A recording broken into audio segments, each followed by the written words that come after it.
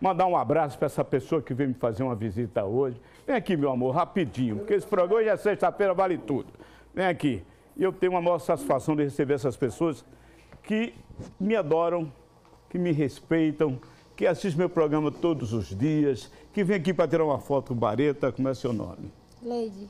Lady. Ela, quando viu, ficou tão emocionada, coisa dele, pegou até chuva, foi ou não foi? Foi, tomei chuva para chegar aqui. Você mora onde? Sobrada. No Sobrado. Então eu quero aproveitar, o povo assiste meu programa no Sobrado. Gosta. É mesmo. Você é muito querido, é muito amado lá.